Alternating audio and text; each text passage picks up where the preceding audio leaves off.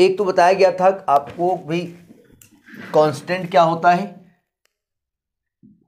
Constant क्या होता है? और एक बताया गया था हाँ। हाँ हाँ फिक्स कांस्टेंट का मतलब होता है कि जिसमें एक फिक्स वैल्यू आपको दे, जैसे टू थ्री फोर एक आपके कांस्टेंट बताए गए। और वेरिएबल जैसे एक्स वाई जेड इस प्रकार से ये, या ए बी सी ये सब वेरिएबल होते हैं। वेरिएबल का मतलब होता है जिसकी value place to place change होती रहे। उसको हम वेरिएबल कहते हैं। इसके बाद बताया गया भाई टर्म्स क्या होते हैं। टर्म्स का मतलब भाई जितने टर्म्स में हों, जैसे मान लिया three x plus two y है तो जो प्लस का साइन या माइनस का साइन जो है, वो टर्म को डिवाइड करता है। यानी ये टर्म तब तक एक रहेगा जब तक कि कोई प्लस या माइनस का साइन नहीं आएगा। तो ये फ़र्स्ट टर्म ये सेकेंड टर्म फिर माइनस आ गया है थर्ड टर्म इसमें तीन टर्म्स हैं, ठीक है? इसके बाद बताया गया ज़ीरो टर्म होंगे तो लिखोगे क्या? भाई भाई, कहा गया zero student sit in the class ठीक है टीचर गया पढ़ाने के लिए तो कहाँ पढ़ाएगा वो? पढ़ा सकता है वैसे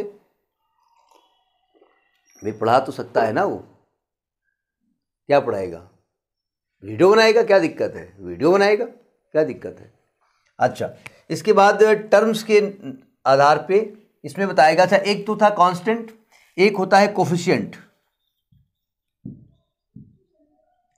जैसे मैं टू थ्री फोर लेता हूँ तो कांस्टेंट है, लेकिन टू अगर एक्स के साथ आ जाता है तो इसके बीच में साइन हमने बताया मल्टीप्लाई का होता है तो ये कोफिशियंट कहलाते हैं।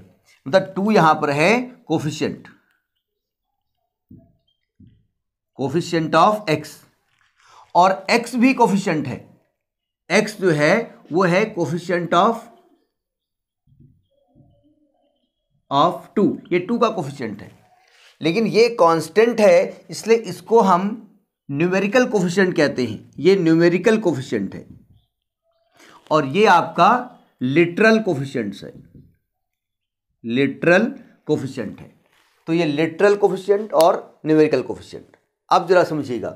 इसके बाद हमने बताया कि भाई ये कांस्टेंट हो गया, ये वेरिएबल हो गया, ये टर्म्स हो गया, ये कोफिशियंट हो गया।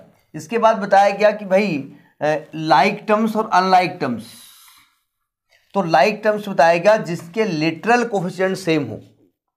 लाइक टर्म्स का मतलब होता है having the same literal coefficients तो ये बताया गया लाइक टर्म्स एल्जबरा की हम बात कर रहे हैं उसमें।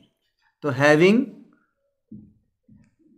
सेम लिटरल कोफिशियंट्स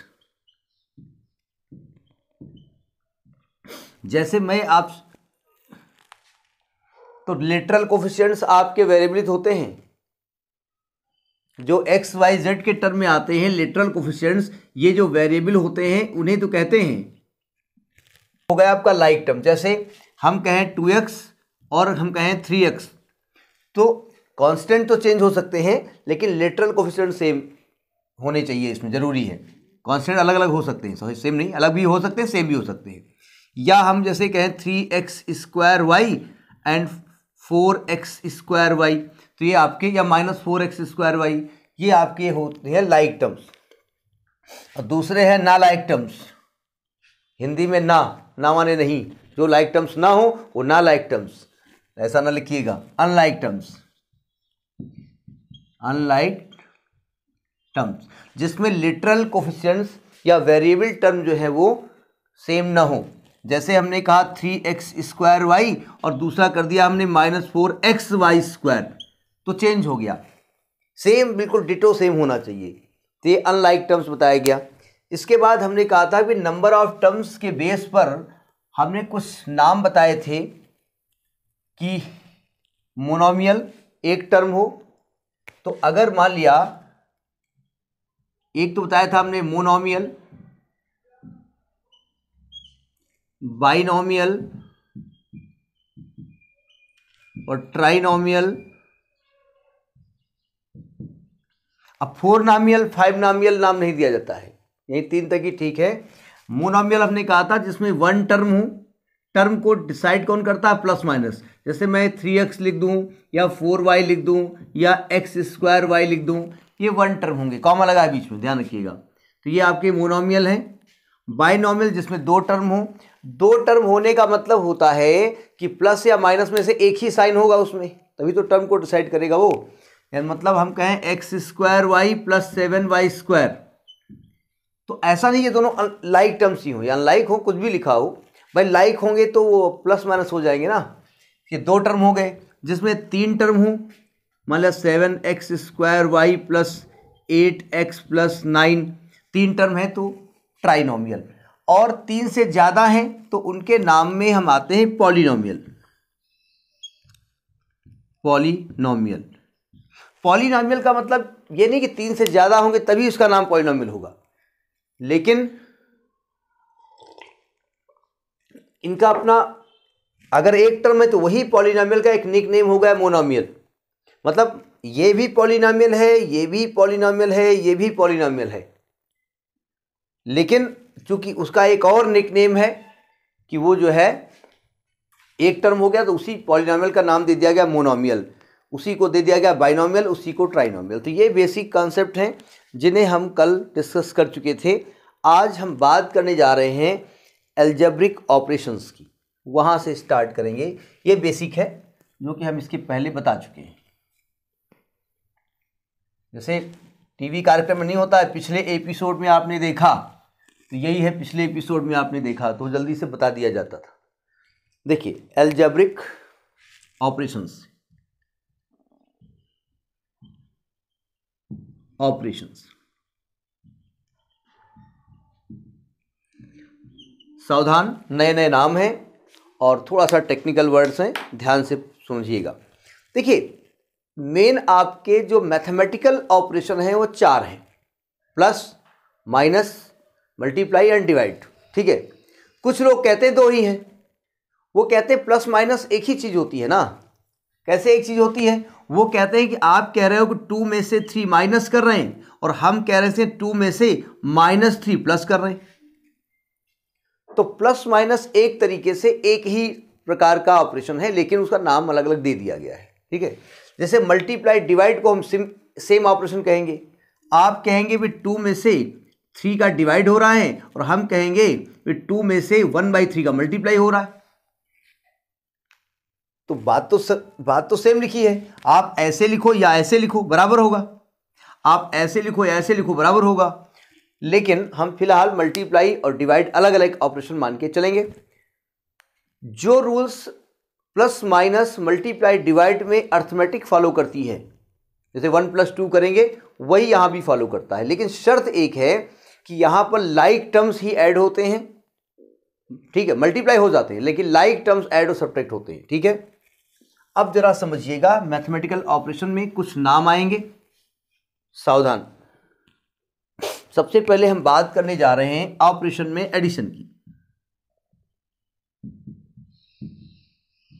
देखिए, एडिशन आप जानते हैं, जैसे दो नंबर को ऐड करना, बहुत छोटे क्लास से पढ़ते आ रहे हैं, ठीक है? Two plus two is equal to four, अब ये बताने की ज़रूरत नहीं है, होता है, ठीक है?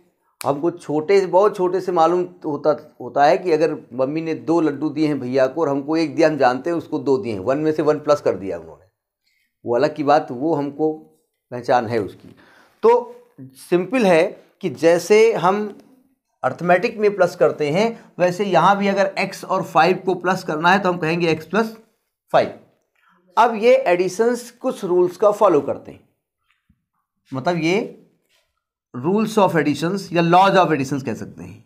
रूल्स ऑफ़ एडिशंस एडिशन ये एडिशन साइंटिस्ट नहीं है, दूसरे वाले एडिशन है, वो ई डी आई होते थे। सुना होगा नाम साइंटिस्ट का। नाम तो सुना ही होगा। देखिए, क्या हो गया? जरा पहला देखिए एडिशन जो प्रॉपर्टी को फॉलो करता है। एडिशन में अगर हम एल्जबरा की हम बात ना करें, अगर हम अर्थमेटिक की बात करें तो आप जानते हैं कि टू प्लस थ्री करें या थ्री प्लस टू करें, value will be the same. इस रूल को हम क्या कहते हैं? हमने बताया है, हमने बताया है, जब आपको अर्थमेटिक बताई गई थी तो वहाँ रूल्स बताए गए थे नंबर सिस्टम याद है? पहली प्रॉपर्टी है commutative property of addition addition की कॉमिटेटिव प्रॉपर्टी मतलब अगर दो एल्जेब्रिक एक्सप्रेशन मैं एल्जेब्रा की बात कर रहा हूँ तो एल्जेब्रिक एक्सप्रेशन ही लिखूँगा ए बी सी डी अगर दो एल्जेब्रिक एक्सप्रेशन मान लिया three x plus two y है, और आप two y plus three x कर दीजिए तो वैल्यू सेम होती है। तो अगर इस रूल को कोई फॉलो करता है तो इस प्रॉपर्टी को कहा जाता है कॉमिटेटिव प्रॉपर्टी ठीक है? कुछ लोग थोड़ा स्टैंडर्ड बोलते हैं। तो वो कहेंगे कि एल्जेब्रिक एडिशन या addition follows the rules of commutative या एडिशन कम्यूट वर्ड यूज़ करते थे commute commute means follow the commutative property इनके रूल्स भाई याद रखिएगा। समझे? इनके रूल्स के नाम याद रखिएगा। हमने आपको उसमें अर्थमेटिक में पढ़ाया है इस चीज़ को। वो आप भूल गए। दूसरी प्रॉपर्टी यहाँ पर है। देखिए प्रॉपर्टी तो बहुत सारी हैं। आपके बेसिक के हिसाब दो तीन बताई जा रही हैं। अब जरा समझिएगा। अगर मैं एक्स में से वाई प्लस करूँ और प्लस कर दूँ पहले, और उसके बाद उसमें जेड प्लस करूँ, या एक्स में से पहले वाई प्लस जेड करूँ, फिर एक्स करूँ तो result will be the different or same same तो ये सेम होते हैं। क्योंकि हम जानते हैं हम पहले ब्रैकेट सॉल्व करते हैं। ठीक है? तो इसको इस प्रॉपर्टी का नाम क्या है? Associative property. भूल गए ना? नहीं, याद करने, याद रखिए आप। पीछे कहीं पलट के देख रहे हो, कहीं लिखा होगा। एम राइट इसको कहते हैं एसोसिएटिव, इसको कहते हैं एसोसिएटिव प्रॉपर्टी। ठीक है? इसके बाद तीसरी प्रॉपर्टी है, इसको कहते हैं आइडेंटिटी जरा आइडेंटिटी का मतलब समझ में, समझिएगा। जिस ऑपरेशन हम, किस ऑपरेशन की बात कर रहे हैं? एडिशन की बात कर रहे हैं। ऐसा नंबर जिसको किसी में ऐड करने पर वो उसकी वैल्यू को चेंज ना करे, वो कौन है? ज़ीरो। तो ज़ीरो यहाँ पर एडिशन के केस में आइडेंटिटी एलिमेंट है। मतलब जो अगर मैं ए में से ज़ीरो प्लस कर दूँ, तब भी ए होगा, या ज़ीरो में से ए प्लस कर दूँ, तब भी ए होगा। तो ज़ीरो इतना सज्जन है, इतना नोबल पर्सन है, नबल नबल नंबर है बेचारा, कि वो किसी को चेंज नहीं करता है और ऐड भी हो जाता है, ठीक है? तो zero is called identity element. Identity element. किस किस केस में? In addition. एडिशन के केस में आइडेंटिटी है। हाँ सब्ट्रैक्शन में भी होता है, वो तो बात की बात है, लेकिन मल्टीप्लाई में आइडेंटिटी नहीं, मल्टीप्लाई में बड़ा खतरनाक है। बहुत बड़ा नंबर आकर के इसके सामने तुरम खानी दिखाई, दिखाने की कोशिश करे, हीरो बनने की कोशिश करे, ये फट से जी अपने आप से मल्टीप्लाई करके कहता तुम भी हो गए ज़ीरो, जाओ बेटा। तो वो वहाँ खतरनाक है। तो ये हो गया आपका आइडेंटिटी एलिमेंट अब जरा एक नोट समझ लीजिएगा। एलजबरा में गलती जहाँ हो, होने के चांसेस छोटे स्टूडेंट से होती है। अब मैं फाइव प्लस एक्स अगर मैं करता हूँ तो कहीं गलती से इसको फाइव एक्स मत लिख दीजिएगा। क्योंकि इसका मतलब क्या होता है? दोनों नंबर्स आपस में ऐड हो रहे हैं। और इसमें दोनों के बीच में साइन कौन सा लगा हुआ है? हाँ तो ये दोनों इक्वल नहीं होते हैं। ये ध्यान रखिएगा। अब कहेंगे, यार, इतनी छोटी बात है, क्या बता रहे हैं आप? ये छोटी बात है, लेकिन अभी आप भी छोटे हैं ना, इसलिए छोटी बात है। तो ये पहला लिखिए। ये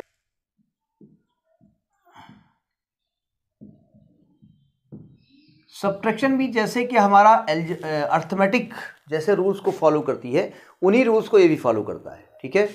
अच्छा अगर मैं कहूँ x माइनस वाई तो मैं इसको पढ़ूँगे क्या? पढ़ने को तो x माइनस वाई पढ़ेंगे हम लेकिन अगर इसको लैंग्वेज में पढ़ेंगे तो आप कहेंगे y is subtracted from x y x में सब्ट्रैक्ट किया गया तो x में किया गया तो x बड़ा होगा, ठीक है? तो इसको अगर लैंग्वेज में पढ़ेंगे तो हम कहेंगे y is subtracted from x. ठीक है? ऐसा हम बोलेंगे।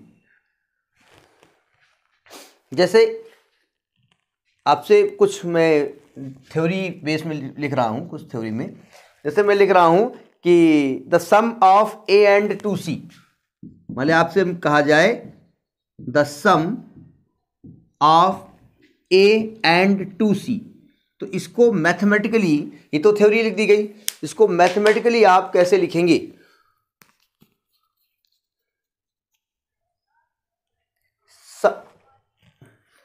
Of a and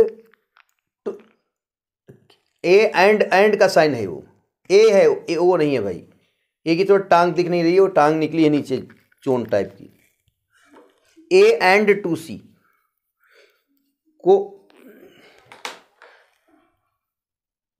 नहीं सम सम का मतलब क्या होता है? तो, तो सम में से बड़ा होने से क्या फ़र्क पड़ता है? भाई सब में बड़ा छोटा कोई मतलब नहीं है, है? ये तो दुनिया है कौन बड़ा है कौन छोटा है वह बेटा पूरी महात्मा लोग बोलते हैं। ऐसा इसमें नहीं लगेगा। देखो इसको लिखेंगे कैसे? इसको लिखेंगे ए प्लस टू सी ठीक है? जैसे मैं आपसे कहूँ कि eleven more than eleven more than a number b eleven more than a number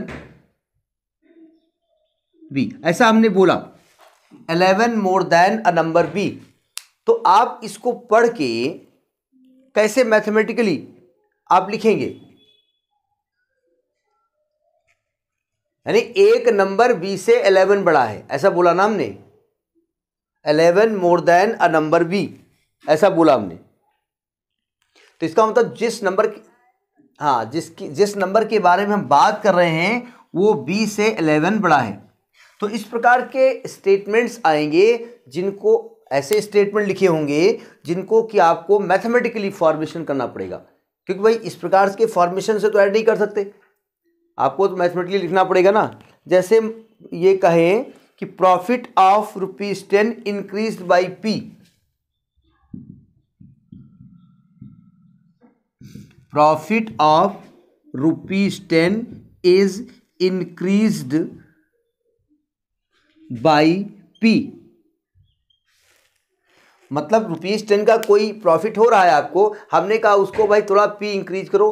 तो आपने कितना बढ़ा दिया? तो आपने एल, टेन में से पी प्लस कर दिया, या पी में से टेन प्लस कर दिया, ठीक है? तो समझ में आ गया? ठीक है? जैसे हमने अगला एक और स्टेटमेंट है, मैं लिख रहा हूँ। लिखा increment of x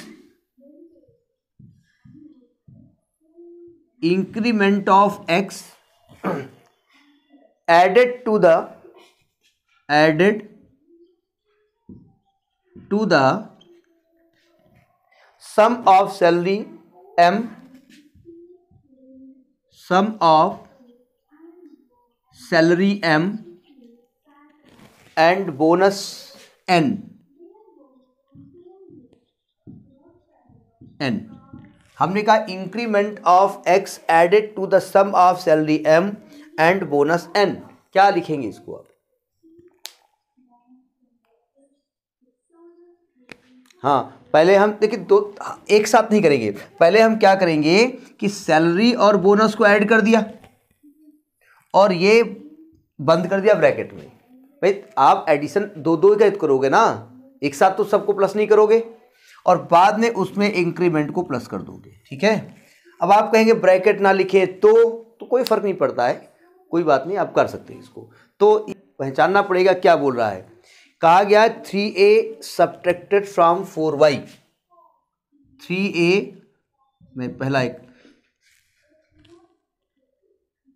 सब्ट्रैक्टेड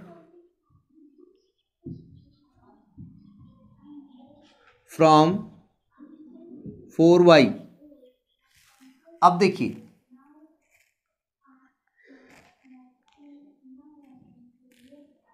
है? फोर फोर वाई है। अब जरा इंग्लिश समझिएगा। Three three a is subtracted from. अगर मैं कहूँ कि two is subtracted from. Four तो किसमें से किसको माइनस करना है? हाँ तो यही यही तो ये लिखा हुआ है तो उल्टा तू बोल रहे फ्रॉम मीन्स फोर वाई। क्या बोला था? अच्छा ये बोला था तो सही बोला था। Four y minus three a. तो देखना ये पड़ेगा कि किसको सपरेट करना है और किसमें से करना है। सपरेट बोले तो उसे काट के उसको निकाल दीजिए। ठीक है? तो ये स्टेटमेंट पहचानना पड़ेगा कि आपसे कह क्या रहा है। जैसे आपसे कहा d less than twelve d less than twelve. क्या लिखेंगे इसको?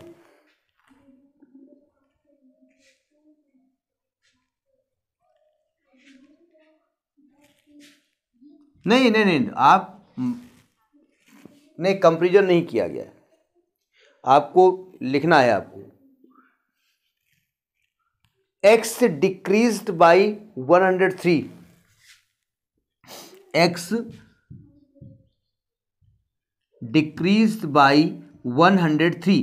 तो आप कैसे स्टेटमेंट इसका बनाएँगे? X decrease by one hundred three. X decrease कर, कर, कर दिया गया one hundred three. X decrease कर दिया गया। ठीक है? एक्स एक्स नहीं उससे मतलब थोड़ी होता कि जो ये लिखा पहले लिखा जाएगा। ये ये तुम ये देख रहे हो क्या? इसको पहले लिखना है। यहाँ देखो क्या बोला गया है। उन्होंने कहा एक्स को डिक्रीज करिए। कितना करिए? वन हंड्रेड थ्री एक्स ये ना लिखिए कि पहले बाद वाले में, पहले वाले को माइनस करिए। हाँ तुम यही कर रहे हो ना?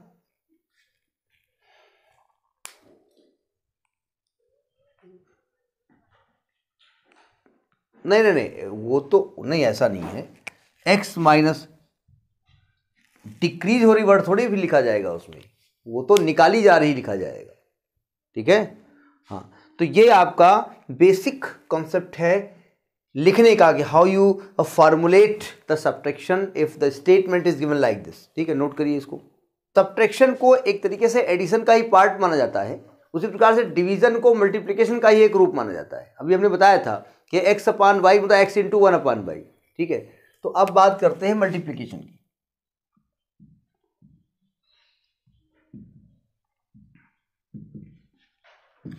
मल्टीप्लिकेशन का दूसरा नाम क्या है? Mathematic product.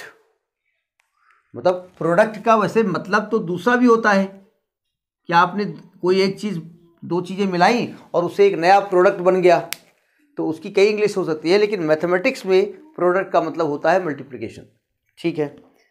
देखिए, पहले तो कुछ एग्ज़ाम्पल समझें। अगर आपसे मैं कहूँ कि थ्री थ्री थ्री थ्री आप फोर टाइम्स ऐड करिए तो आप चाहें तो थ्री को फोर से मल्टीप्लाई कर दें, बात तो वही होगी। मतलब इसको कहा जाएगा फोर टाइम्स ऑफ़ थ्री ये फोर टाइम्स थ्री लिखे है ना? थ्री कितने टाइम्स लिखे हैं? फोर टाइम्स इसको फोर टाइम्स ऑफ़ थ्री भी बोल बोल सकते हैं फोर इंटू थ्री बोल सकते हैं थ्री इंटू फोर बोल सकते हैं। ठीक है? बोलने का तरीका हो गया। जिसी प्रकार से दूसरी बात हम कह सकते हैं कि मैं x plus x plus x plus x करूँ तो आप कहेंगे फोर टाइम्स ऑफ़ x तो फोर टाइम्स ऑफ़ x में आप केवल फोर एक्स कर दें। देखिए, यहाँ पर मल्टीप्लाई का साइन लगाना ज़रूरी है, क्योंकि नंबर में एक लफड़ा होता है ना। नंबर में अगर आप थ्री इंटू फोर करें तो आपके लेवल पे ये डेसिमल पढ़ा जाएगा। बड़े क्लासेस में तो चल जाता है थ्री इंटू फोर कर देते हैं, मान लेते हैं ये मल्टीप्लाई लिखा है, लेकिन आपके लेवल पे ये डेसिमल पढ़ेंगे, इसलिए आपके लेवल पे ये नहीं लिखेंगे। लेकिन चूँकि ये जो फोर एक्स लिखा हुआ है तो ये four is the coefficient of x numerical coefficient and x is a literal coefficient of four और इनके बीच में साइन कैसा है? इनके दोनों के बीच में साइन कौन सा कहलाता है? मल्टीप्लाई का साइन होता है। तो आपको यहाँ मल्टीप्लाई साइन लगाने की ज़रूरत नहीं। चाहो तो ऐसे लगा दो। लेकिन अगर आप नहीं लगाते हो तो आप ये पर्याप्त है इट इज़ इन मल्टीप्लिकेशन लेकिन यहाँ पर लगाना इसलिए ज़रूरी है कि छोटे क्लासेस में स्टूडेंट इसको डेसिमल पढ़ जाते हैं। इसलिए हम लगाना बहुत ज़रूरी समझते हैं। ठीक है? अच्छा। प्रोडक्ट को ऐसे भी लिखा जा सकता है, ये ध्यान रखिएगा। अब इसके कुछ प्रॉपर्टीज़ होती हैं प्रोडक्ट की, देखिए ध्यान प्रॉपर्टीज़ ऑफ़ प्रोडक्ट या प्रॉपर्टीज़ ऑफ़ मल्टीप्लिकेशन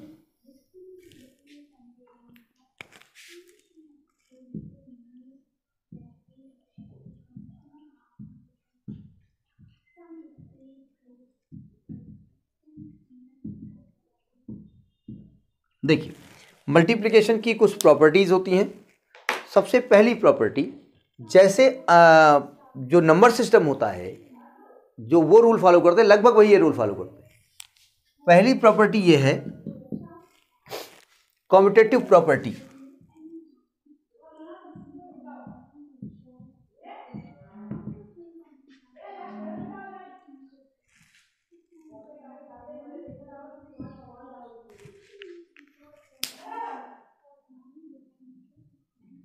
ए महक, आंटी बता दो वो आवाज़ रिकॉर्ड हो रही है, आपकी वो वीडियो बन रहा है। जल्दी बता दो आपकी। ये तो पढ़ा रहे हो वीडियो रिकॉर्ड हो रहा है, पूरा यूट्यूब में आपकी आवाज़ चली जाएगी।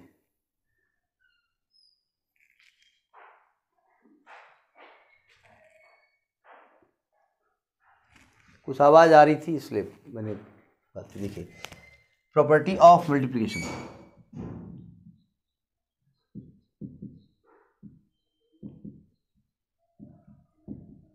देखिए कॉम्पिटेटिव प्रॉपर्टी ऑफ़ एडिशन अभी हम बता चुके हैं। उसी प्रकार से मल्टीप्लिकेशन में अगर एक्स वाई करें हम एक्स वाई मतलब ये, इनके बीच में साइन कौन सा है? एक्स इंटू वाई पढ़ेंगे ना। और वाई इंटू एक्स करें तो कोई फ़र्क नहीं पड़ता है। आप डॉट लगा भी सकते हैं, नहीं भी लगा, कोई दिक्कत नहीं है। अगर डॉट आप लगा भी दे, तब भी ठीक है, नहीं लगाते, तब भी ठीक है। अच्छा दूसरी प्रॉपर्टी एसोसिएटिव प्रॉपर्टी। देखो, केवल आप कम्यूटेटिव प्रॉपर्टी लिखते हैं चलेगा, क्योंकि मल्टीप्लिकेशन के बारे में बात आप कर ही रहे हैं। ठीक है? मतलब associative property of what of multiplication ठीक है? तो अगला है associative property associative property of multiplication लिखे दे रहे हैं कंफ्यूज ना हो आप। देखिए, अगर मैं x इंटू वाई करता हूँ और ब्रैकेट बंद करता हूँ ब्रैकेट बंद करता हूँ मतलब कहते मतलब ब्रैकेट बंद करता हूँ, उसका क्या मतलब होता है? मतलब पहले हम ब्रैकेट सॉल्व करेंगे और बाद में इंटू जेड करता हूँ या x into y into z करता हूँ। मतलब पहले मैं x इंटू वाई करूँ, फिर z से मल्टीप्लाई करूँ, या पहले y इंटू जेड करूँ, फिर x से मल्टीप्लाई करूँ result will be the same तो ये आपकी प्रॉपर्टी होती है एसोसिएटिव प्रॉपर्टी ऑफ़ मल्टीप्लिकेशन अगली प्रॉपर्टी है, अब जरा यहाँ पर एक नई प्रॉपर्टी आती है। पहले समझने की कोशिश करिए यहाँ पर। अगर मैं टू इंटू ब्रैकेट में थ्री प्लस फोर कर दूँ, देखिए तो यहाँ एक तो तरीका यह है कि भाई इनको ऐड हम कर दें, और जो रिज़ल्ट आए उसको टू में मल्टीप्लाई कर दें। मतलब ये इंटू है। ब्रैक वैसे भी आप जानते हैं ब्रैकेट के बाहर अगर कोई नंबर है तो मल्टीप्लाई में होता है। तो ये हम टू इंटू सेवन यानी कि फोर्टीन लिख सकते हैं। लेकिन हम ब्रैकेट कैसे खोलते हैं? देखिए, पहले टू का इंटू किससे होगा? थ्री से। तो ये आएगा टू इंटू थ्री फिर साइन लगेगा प्लस फिर टू इंटू फोर तो थ्री टू ज़ा सिक्स फोर टू ज़ा एट फोर्टीन आएगा। ये प्रॉपर्टी कहलाती है डिस्ट्रीब्यूटिव प्रॉपर्टी ऑफ़ मल्टीप्लीकेशन यानी मल्टीप्लीकेशन इस प्रकार से ब्रैकेट के अंदर डिस्ट्रीब्यूट हो जाता है। ठीक है? तो इसको कहते हैं हम distributive property distributive distributive property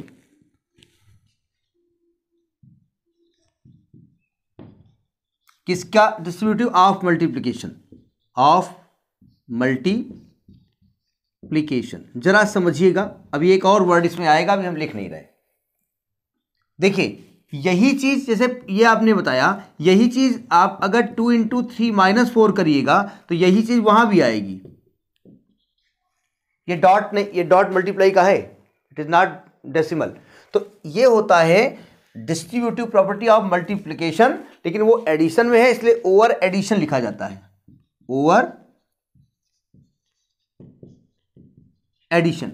मतलब अगर x in bracket y plus z आप करें तो ब्रैकेट कैसे खुलता है? जरा देखिए, क्योंकि एल्जब्रा में ये ब्रैकेट खोलना और मल्टीप्लाई करना बहुत आगे दिक्कत करता है। अगर बेसिक गड़बड़ है किसी का तो एल्जब्रा जो है उसकी खोपड़ी साफ़ कर देती है। मतलब ऐसे कर देती है।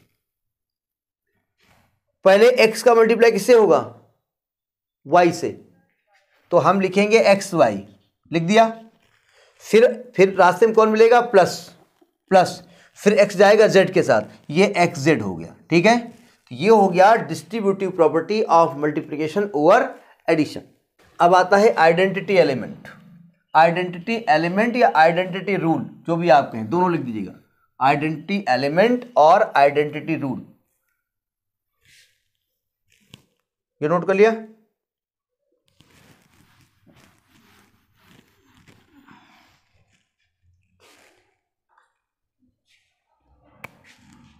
ये नंबर कौन सा चलेगा? फिफ्थ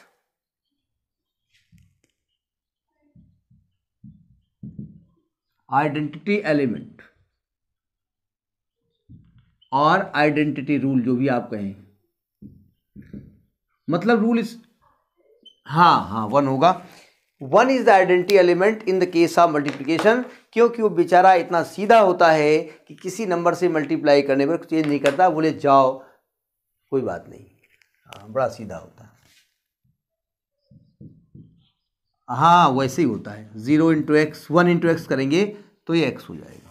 तो ये आइडेंटिटी रूल होता है। यानी वन को हम मल्टी देखिए, वन का जो नाम है ना, वन को कहते हैं multiplicative identity multiplicative identity zero क्या था? एडिटिव आइडेंटिटी ज़ीरो जो था आपका, वो था एडिटिव आइडेंटिटी एडिटिव आइडेंटिटी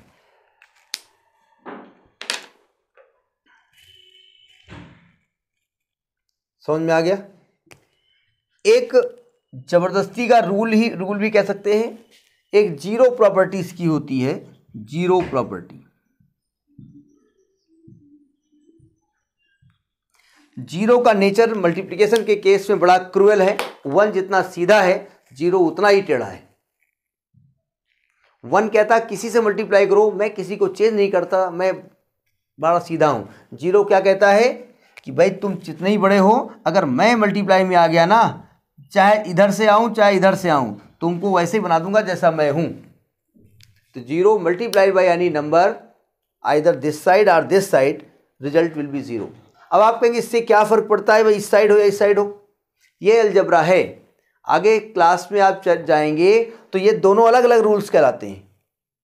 इसमें आपने राइट साइड में मल्टीप्लाई किया है, इसमें लेफ़्ट साइड मल्टीप्लाई किया है। दोनों को इक्वल ही माना जाता है। वो कहते हैं, पहले इसको उस साइड ले जाओ, तब दोनों इक्वल माने जाएँगे, ठीक है? तो फ़िलहाल तो अभी अब आप एल्जबरा पढ़ रहे हैं, आगे चल के ये हायर एल्जबरा आएगी, आगे चल के मॉडर्न एल्जबरा आएगी। तो ये सब रूल्स अलग अलग हो जाएँगे। नोट करिए इसको। क्या होता है? अब डिवीज़न जो है हर ये रूल जो आपका मल्टीप्लिकेशन फॉलो कर रहा था ये डिवीज़न फॉलो नहीं करता। तो डिवीज़न में लिखते कैसे हैं? एक्स डिवाइडेड बाई वाई बस एक्स अपॉन वाई ये डिवीज़न होता है। ठीक है? या इसको ऐसे लिखते हैं एक्स डिवाइडेड बाई वाई और लिखते हैं एक्स अपॉन वाई तो यही डिवीज़न है। रूल्स कोई नहीं होता है, रूल्स आपके सभी मल्टीप्लिकेशन वाले होते हैं। भाई, आप अगर ध्यान से देखें, मैं कहूँ, आपको याद हो अगर, जब नंबर में आप डिवाइड करते थे तो डिवाइड का साइन हटता कैसे था? इसको वन, इसके अपान में वन है तो वहाँ रूल बताया गया था एक्स को मल्टीप्लाई साइन करके इसको पलट देते थे। याद है? ऐसा पढ़ा कि नहीं पढ़ा आपने। आपको एक एक बॉड मास तो पढ़ाया गया था उस दिन में बताया भी था। जो डिवीज़न होता है, जैसे टू डिवाइडेड बाई थ्री है, अब हर जगह तो टू ऐसे तो लिखेंगे नहीं हम। एक तो ऐसे लिखेंगे तो पूरा पूरा डिवाइड नहीं होगा डेसिमल में हम ले आएँगे। तो वहाँ रूल ये होता है कि थ्री के अपान में वन है, आप इस साइन को मल्टीप्लाई बदल दीजिए ये पलट दीजिए वैल्यू। तो मैं टू अप मतलब वैसे तो टू अपान थ्री लिखा हुआ है।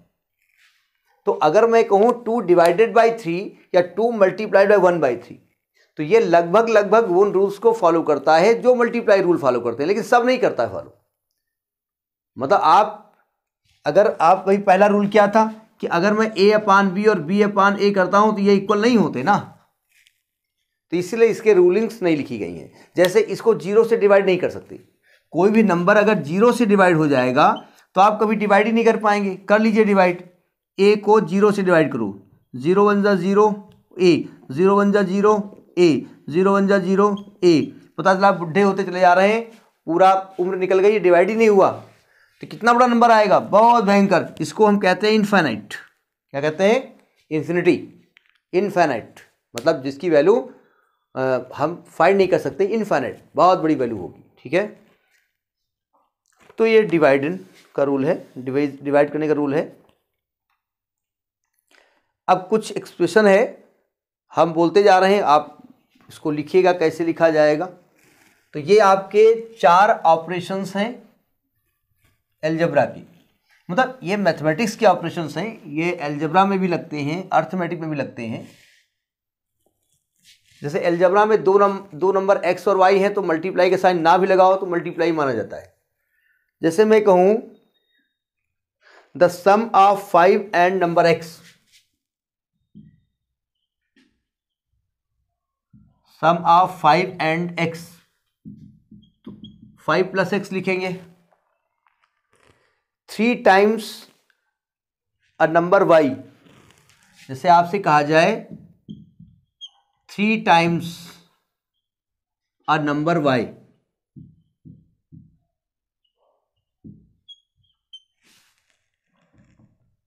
कैसे लिखेंगे? टाइम्स का मतलब हाँ उतने गुना। उतने टाइम्स हो गया तो मल्टीप्लाई तो ये क्या लिखा है? ये थ्री वाई लिखा हुआ है। जैसे आपसे कहा जाए eight more than the product of two x and m eight more than the product of two x and m बताइए एंड का साइन होता ना, ऐसे बनता है ये। बताइए, कैसे लिखेगी? लिखिए इसको।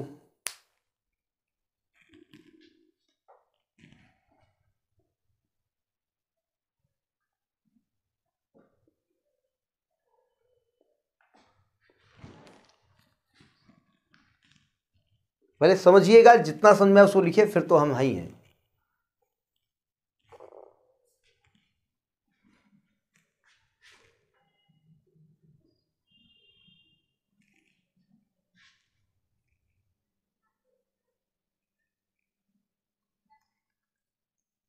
टू इंटू एट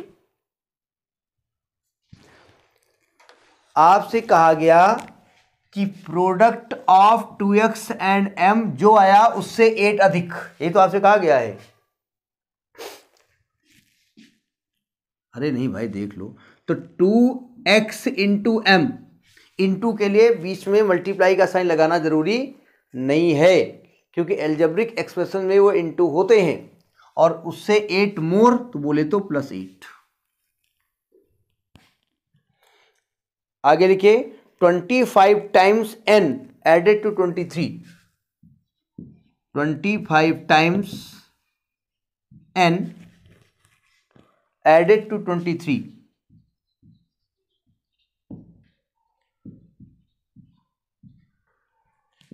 इसको मैथमेटिकली कैसे लिखा जाएगा?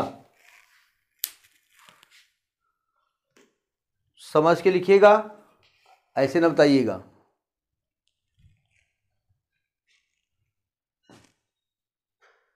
टाइम्स का मतलब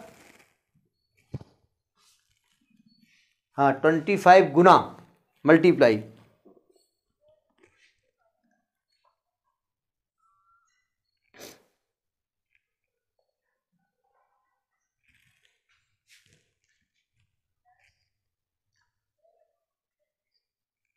या twenty three plus twenty five n में बात बराबर है। लेकिन पहले ट्वेंटी थ्री लिखें या बाद में ट्वेंटी थ्री लिखें? मतलब कहा क्या गया है आपसे? आपसे कहा गया कि नहीं, आपसे कहा गया ट्वेंटी थ्री में ऐड किया गया twenty five times of n आपसे कहा गया कि ट्वेंटी थ्री में ऐड किया गया twenty five times of n ये आपसे कहा गया। आप, नहीं नहीं ब्रैकेट लगाने की ज़रूरत नहीं है। उसमें क्या है तो दो ही टर्म तो है। ब्रैकेट तब होता है जब दो से अधिक टर्म होते हैं। आपसे, आपने क्या कहा कि 25 टाइम्स ऑफ़ एन में से 23 ऐड किया गया? नहीं, दोनों बातें बराबर हैं। दोनों वैल्यू अलग अलग नहीं है। लेकिन दोनों में ये है, यहाँ पर ये हीरो है, यहाँ पर ये हीरो है। ट्वेंटी ट्वेंटी थ्री कहेगा, तुम मुझमें ऐड किए गए भाई साहब। और यहाँ पर ट्वेंटी थ्री यहाँ ट्वेंटी थ्री को ये कहेगा, आप मुझमें ऐड किए गए हैं, बहुत बड़े हीरो बन रहे हो। तो इसमें ये हीरो है, इसमें ये हीरो है। दोनों बातें कहीं अलग अलग गई हैं। लिखने कोई दिक्कत नहीं है, ठीक है?